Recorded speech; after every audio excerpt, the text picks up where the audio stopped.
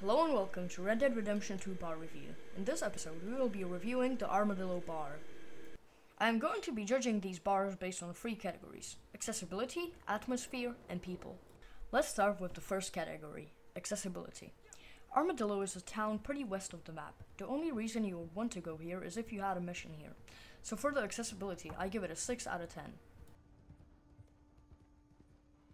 Now for the second category, atmosphere. The atmosphere of the bar, or saloon as you'd like to call it, is very westerny. Not really my style, but it fits the game. For this category, I'd give it an 8.5 out of 10.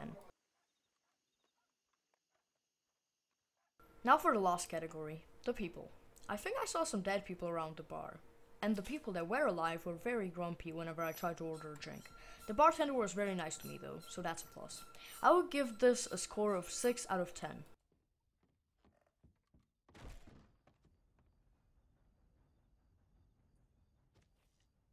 Now for the final score. Overall, the bar was nice, but there are some things that might be improved, such as not having dead people around.